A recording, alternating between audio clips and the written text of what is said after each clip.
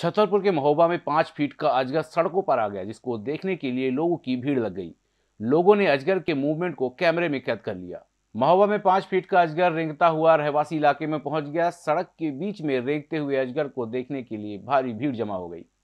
अजगर किसी को नुकसान न पहुँचाए, इसके लिए उसे डंडी के सहारे बाँध कर रखा गया। वहीं अजगर के रहवासी क्षेत्र में आने से लोगों में दहशत का माहौल बना हुआ है।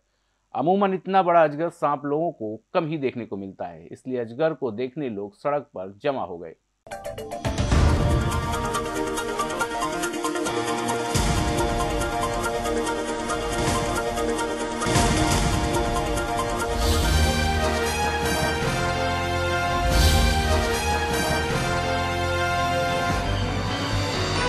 आप देख रहे हैं दखल न्यूज़।